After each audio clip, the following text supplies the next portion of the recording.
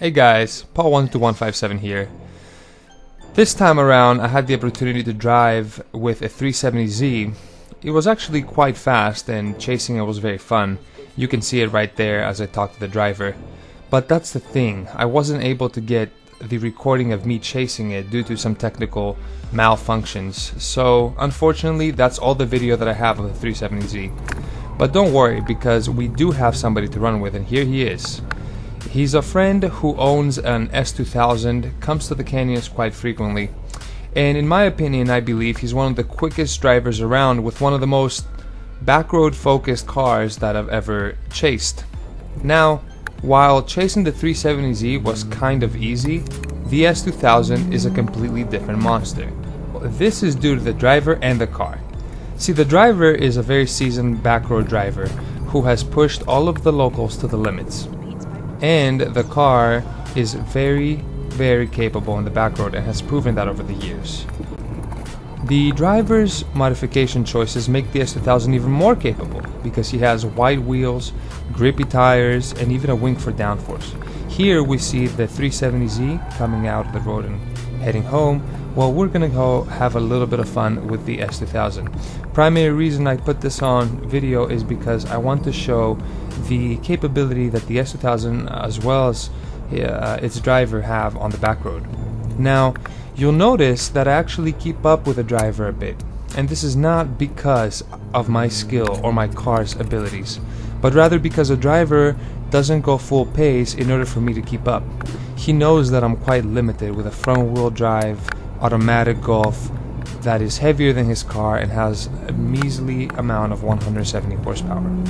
But we can still have fun at a fun pace, but not a 100% serious pace. To see the S2000 come closer to its full capability, check out the previous video where the driver actually led the pack and built a huge gap.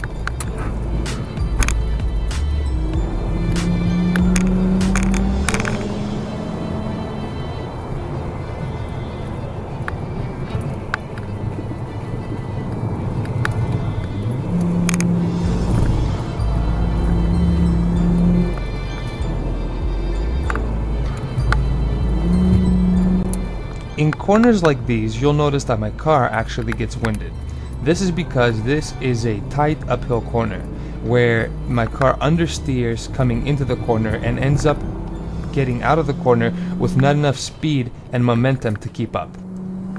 In such situations, however, the S2000 has more than enough power to pull away.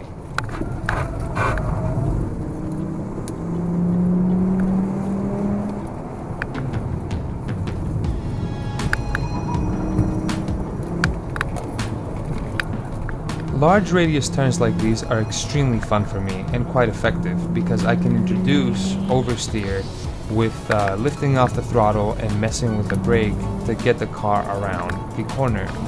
And by being able to stay in the corner for a longer period of time, I can do this again and again until the nose willingly turns in. The effects of this are subtle, but they work wonders. And then again, you don't want your car snapping and oversteering an excessive amount.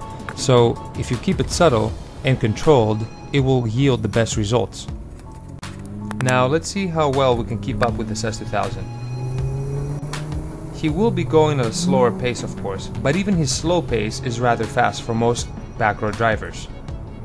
Especially in the segments that work better with this car, like the tighter turns towards the end of the run.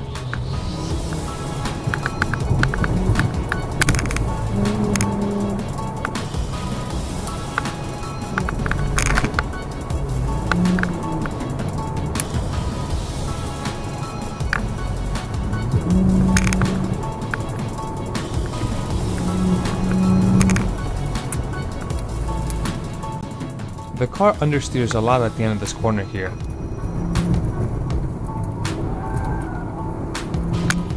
Then again, this was expected.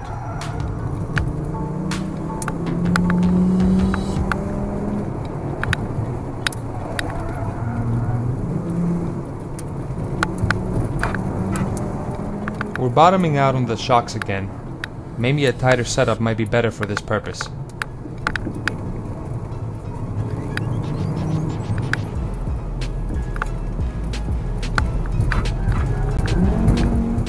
Have a difficulty keeping speed up at the end of the corner here.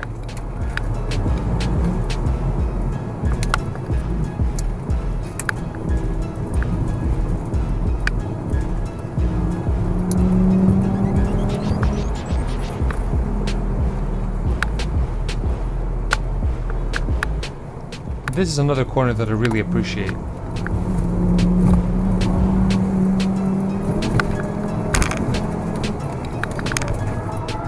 Full four-wheel slide with a little bit of tail kick action here.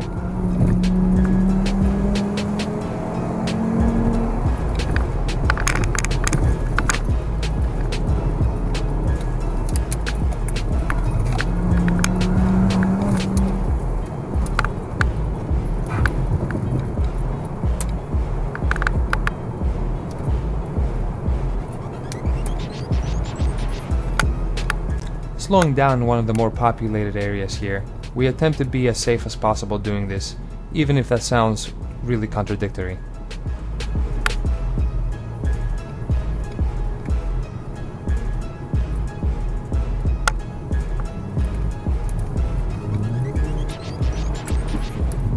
As we enter these switchbacks, you'll notice the S2000 come to life.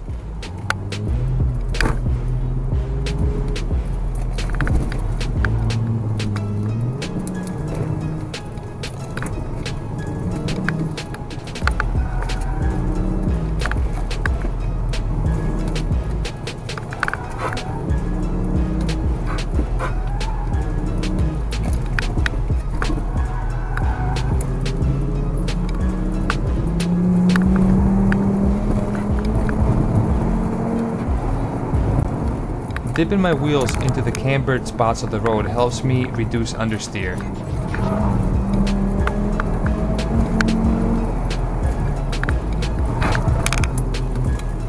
Coming up to the next cambered turn, I hear a noise that truly worries me.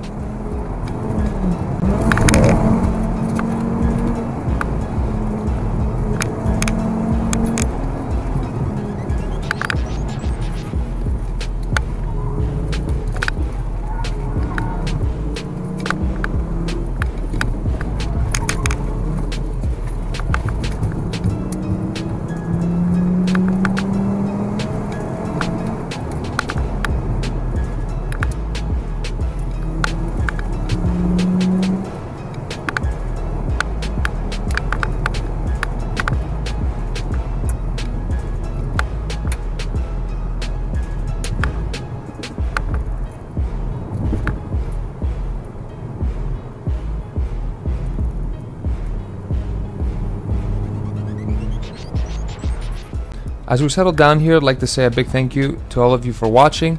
Also, a big thank you to the people that drive with me in these videos.